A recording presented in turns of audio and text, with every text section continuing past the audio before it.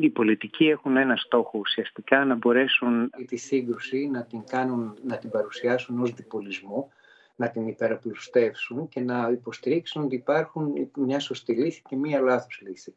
Δυστυχώς ξέρουμε καλά ότι αυτά τα διπολικά, αυτά τα στερεότυπα και αυτές οι κατηγοριοποιήσεις επηρεάζουν συνήθως ανθρώπους που δεν έχουν υψηλή παιδεία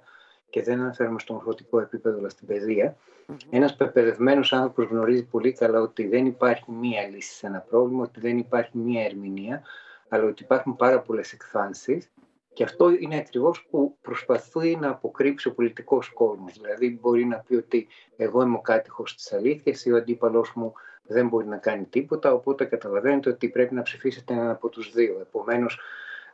η πεμπτουσία του πολιτικού λόγου είναι ουσιαστικά να δημιουργήσει ένα στυλ προπαγάνδας το οποίο υποστηρίζει ότι υπάρχει ένα δίλημα ένα δίλημα που είναι είτε εγώ που θα σώσω μια κατάσταση ή ο άλλος ο αντίπαλος ο οποίος θα επιφέρει δεινά αγνώντας βέβαια ότι αυτό που λέει και υποστηρίζει η ψυχολογία και άλλες κοινωνικές επιστήμες είναι ότι όταν τίθεται ένα δίλημα τότε η λύση βρίσκεται πάντοτε εκτός διλήμματος, δηλαδή σε μια τρίτη λύση την οποία θα έπρεπε να εφεύρουμε.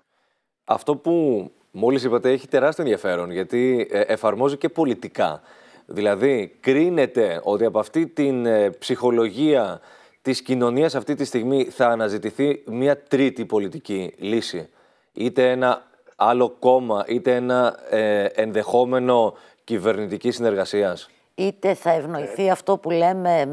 σχηματικά αντισυστημισμός;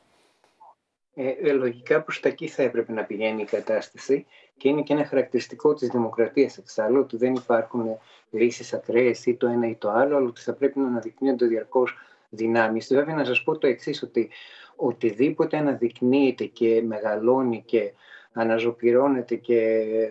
τρέφεται μέσα από τις κομματικές διαδικασίες ουσιαστικά θα έχει την ίδια κατάληξη γιατί το πρόβλημα είναι εκεί στο πώς ακριβώς φτάνουμε σε αυτό το σημείο της πολιτικής που έχει να κάνει με την αρχική οργάνωση των κομμάτων και όχι τόσο πολύ με την έννοια της δημοκρατίας.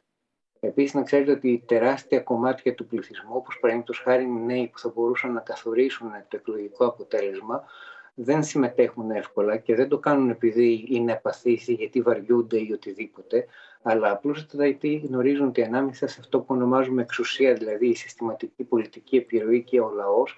υπάρχουν πολλά ενδιάμεσα τα οποία δεν ελέγχονται και είναι είτε θεσμικοί φορείς είτε μη θεσμικοί φορείς της δημοκρατίας που πολλές φορές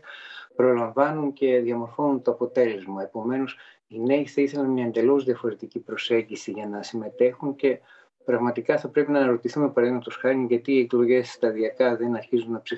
ψηφιοποιούνται, ούτως ώστε να τους προσεγγίσουμε και ούτω καθεξής. Κύριε Παπάνη, ε, επειδή γίνεται πολλή κουβέντα για τους νέους, ε, θεωρείτε ότι είναι ε, λογική η εκτίμηση που γίνεται από πολλούς πολιτικούς παράγοντες ότι η τραγωδία των τεμπών μπορεί να λειτουργήσει ως σπινθήρας κινητοποίησης για τους νέους για να μετάσχουν περισσότερο στην εκλογική διαδικασία ή τελικά θα είναι άλλος ένας παράγοντας για να τους αποθήσει; Ε, να σας πω οτιδήποτε έχει τη συναισθηματική διάσταση κινητοποιεί αυτό πρέπει να θυμόμαστε ότι ένας πολιτικός θα μπορούσε να παρουσιάσει λογικά επιχειρήματα ή στατιστικά, οικονομικά, εκπαιδευτικά και ούτω καθεξής όμως κάτι που εμπερικλεί το συνέστημα, άρα τα συνθήματα άρα καταστάσεις που καπηλεύονται πολλές φορές τραγικά γεγονότα μπορεί να επηρεάσουν και αυτό παρατηρούμε γιατί την στάση του ψηφοφόρου διαμορφώνει κυρίως το συναισθηματικό κομμάτι και το κατά πόσο έχει πρόσβαση σε πόρους. Ε, αυτή την πρόσβαση σε πόρους δεν μπορεί να την εγγυηθεί κανένα από τα κόμματα τα κυρίαρχα, οπότε καταφεύγουν στα συνθήματα, στο συναισθηματικό λόγο και να γνωρίζετε ότι όταν δεν μπορούν να φέρουν επιχειρήματα αρχίζουν και πλήττουν την πηγή του μηνύματος, άρα θα δείτε προσωπικές αναφορές στους αρχηγούς, mm. κομμάτων και ούτω καθεξής. Κύριε, Παπα... ε, κύριε Παπάνη, ε,